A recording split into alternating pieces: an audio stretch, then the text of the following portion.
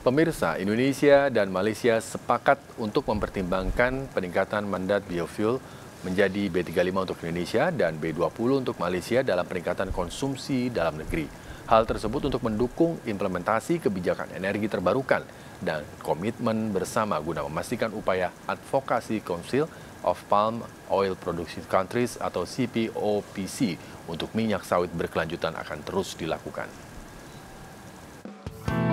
Negara-negara produsen sawit diajak memanfaatkan momentum meningkatnya permintaan minyak sawit dunia, sekaligus terus mendorong pengakuan terhadap daya saing sawit berkelanjutan secara global.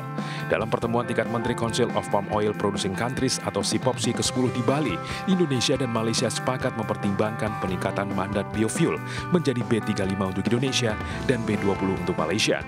Hal ini dilakukan untuk menanggulangi krisis pangan dan energi dan memenuhi pasar minyak sawit dunia di tengah meningkatnya ketegangan di Ukraina. Oleh karena itu kerjasama Indonesia dengan uh, Malaysia menjadi sangat penting karena ini menjadi uh, kunci pada saat lima setengah juta vegetable oil yang berasal dari Ukraine belum bisa keluar secara penuh.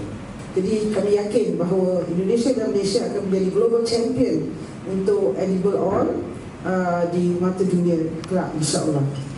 Indonesia dan Malaysia yakin bahwa permintaan minyak sawit akan tetap kuat di tahun 2022 dengan terbukanya sektor ekonomi dan perbatasan internasional, terutama di sektor pangan. Dari Badung, Bali, Bagus Alit Ainus melaporkan.